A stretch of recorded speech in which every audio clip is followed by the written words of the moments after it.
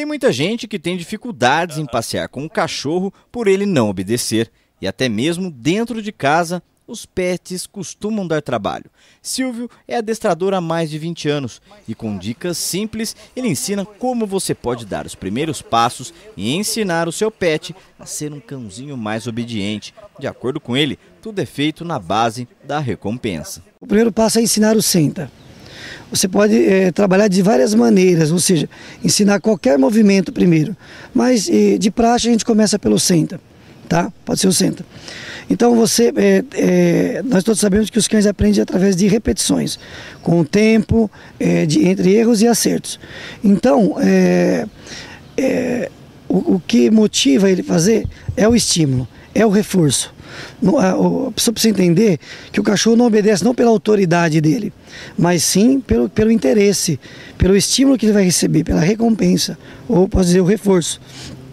Então, como você, vocês viram na imagem, você posiciona, é, pega um petisco, seu cão gosta de petisco, posiciona a mão na altura assim do focinho e vai a, levantando a mão de maneira que a nuca dele vai se voltando para trás. Consequentemente, o cão vai botar a traseira no chão, colocar a traseira no chão, aí você pode falar ok para dizer que está tudo certo, em seguida apresenta o petisco, ou a bolinha, ou, ou a brincadeira para o cão. Então, o primeiro exercício a se ensinar ao cachorro é o ato de sentar. Após um comando de voz, é preciso recompensar o cachorro a cada tentativa, mas tem um jeito certo de levar o alimento até a boca do cãozinho, de forma a induzi-lo a se sentar para comer. É um exercício muito importante, um dos mais importantes é o comando de ficar. E o fica nunca está sozinho. Você fala, fica, é, não, não, existe esse fica assim sozinho. Ele está sempre atrelado a um outro exercício, um outro operante. É, senta, fica. Pedi para o cão, eu comandei o cão sentar, o cão sentou.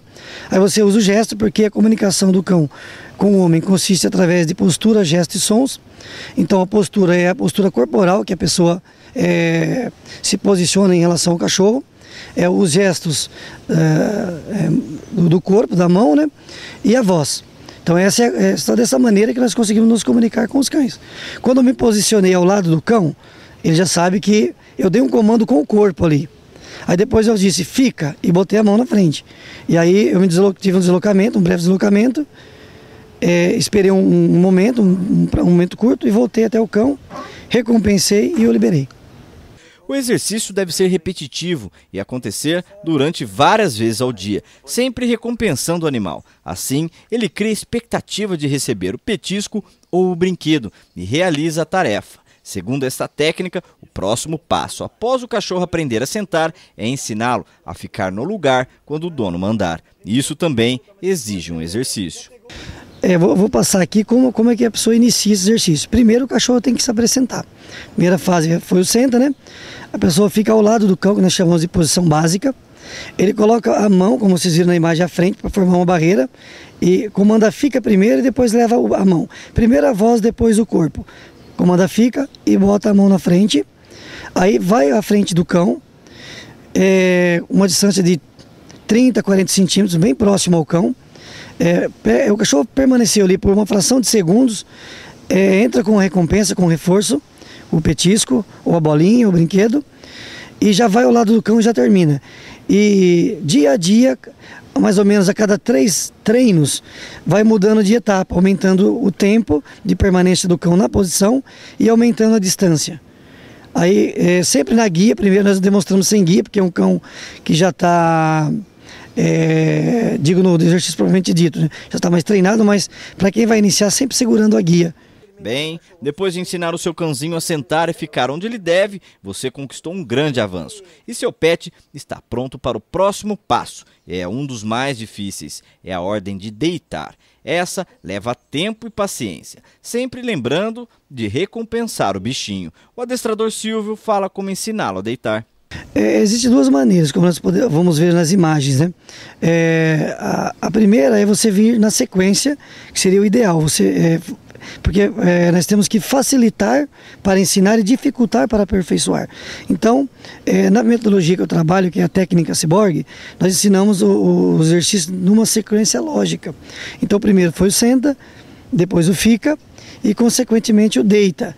É, basta você pegar o petisco, colocar assim abaixo do focinho aqui na é, próxima boca e descer a mão lentamente. E o cão vai deitar.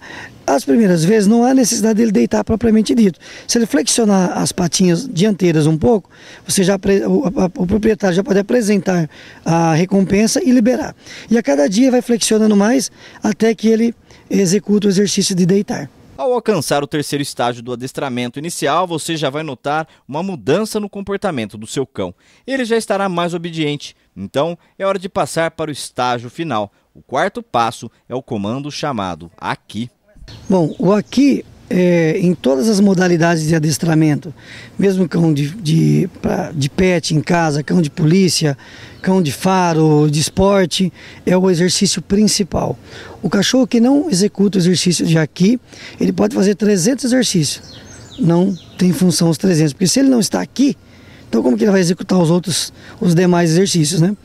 Então, o aqui é o exercício principal, porque se ele escapa do quintal ou da guia, da coleira, o proprietário tem esse recurso de, de comandar aqui e o cão precisa voltar para ele.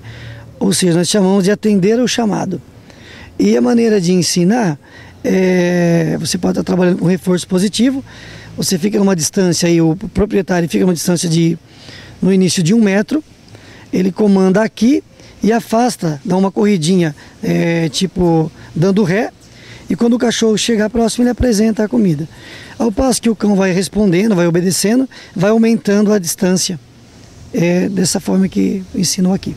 E por fim, o exercício que irá ensinar o seu cão a passear calmamente ao seu lado, sem ele arrastar, derrubar, se enrolar nas pernas e todo aquele rolo que ele faz com a corrente. O exercício chamado junto. Esse ensina o cãozinho a andar comportadamente na rua ao seu lado. Basta você posicionar a tua mão esquerda, é, segurando o petisco é, assim mais no alto aqui, como se fosse na linha da, da costura da calça e coloca a mão ali, vai mantendo, deixa o cachorro ir comendo o petisco ali vai se movimentando. Primeiro um passinho, dois passinhos, três passinhos, até ele andar é, vários metros ali. Uma coisa importante é você depois ir é, suspendendo a mão e fazer um movimento de cima para baixo para apresentar o reforço para o cão. E depois você começa a ir tirando a comida. Ele anda 5 metros, ganha. Depois ele anda 20 metros, ganha com 5, ganha com 3, ganha com 10 metros. Você vai variando o momento de apresentar a comida. Desta maneira, o cão nunca sabe quando vai receber e trabalha sempre com a esperança de receber a comida. Esses cinco exercícios que nós demonstramos durante a reportagem parece simples, mas não é tão fácil assim. O segredo do sucesso para adestrar o seu cãozinho é a repetição, mas é importante também ficar atento ao tempo que você treina o animal para não deixá-lo estressado. É isso, né, Silvio? A repetição é importante, mas o tempo também é. Exatamente. É, é, que, é, que, os cães aprendem através de erros, acertos e repetições. É, ou seja, eles aprendem exclusivamente por condicionamento. Então, o fator tempo é muito importante. Ou seja, o, a, o cão não precisa de, de, não requer muito tempo para treiná-lo. Desde que você execute os exercícios com precisão, fazendo pouquinho, pouquinho tempo todo dia, é, uma, duas ou três vezes ao dia, e você já libera o cachorro. Em caso de dificuldade, melhor coisa é procurar um profissional. Exato. Demos algumas dicas aqui para que as pessoas possam tentar. Mas é, no meu caso, que eu tenho 20 anos de profissão, e existem alguns casos, ainda com todos os cursos, todo o manejo que nós temos, que ainda temos dificuldade. Então, é, o dono pode tentar sim, mas não é uma tarefa assim tão simples em alguns casos. Tá certo, obrigado Silvio. Então tá aí você que tem um pet, tem um cachorro maior em casa e quer que ele aprenda a te obedecer ou pelo menos obedecer parcialmente, a gente sabe como são os nossos animais, né? Tá aí algumas dicas. Caso não dê sucesso, como a gente disse, procurar um profissional. É isso aí.